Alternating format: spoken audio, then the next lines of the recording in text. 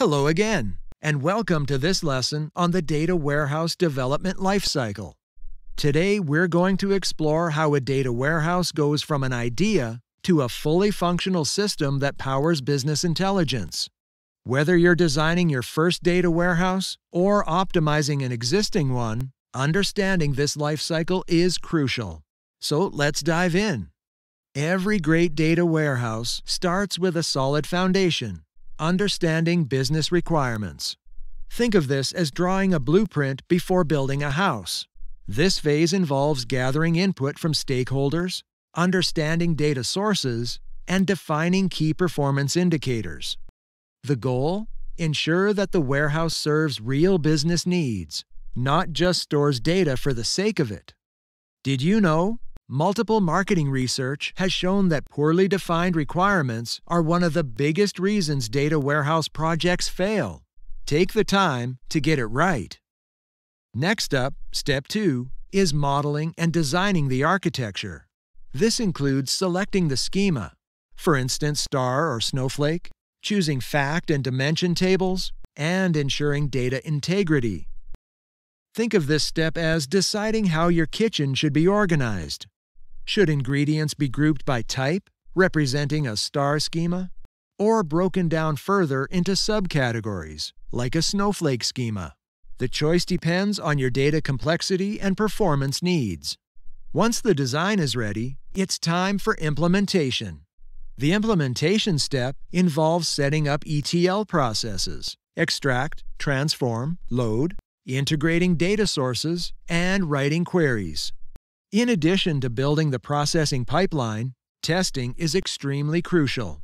Every piece of data should be validated to avoid errors later. Imagine a chef tasting a dish before serving. It ensures quality.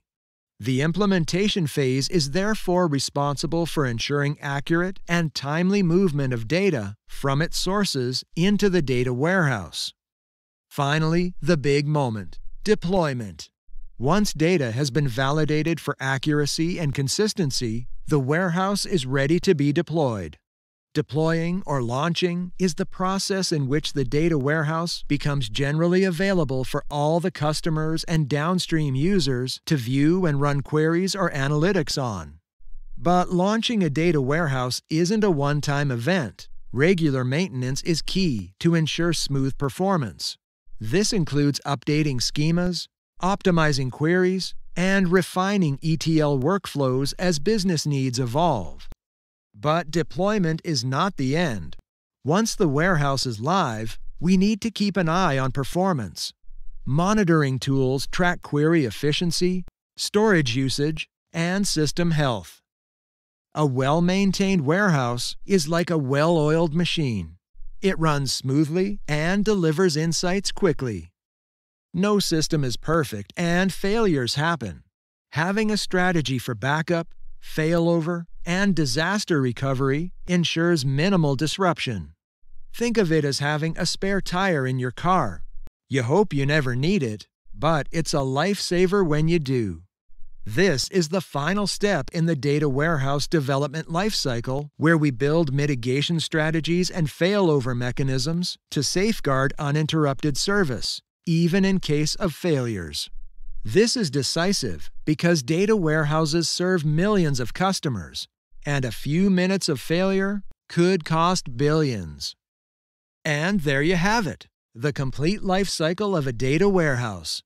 We started with requirements gathering to identify data sources and business needs from the data warehouse. Then moved to modeling and schema design where a conceptual data model was built to handle the required data sources. The implementation and testing phase ensured that the ETL properly executes the schema design and maintains high data quality.